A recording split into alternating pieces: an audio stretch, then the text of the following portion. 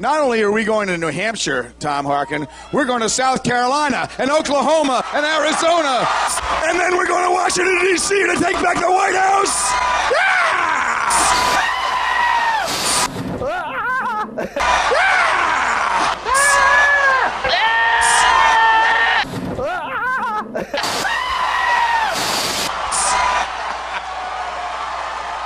You practice this, right?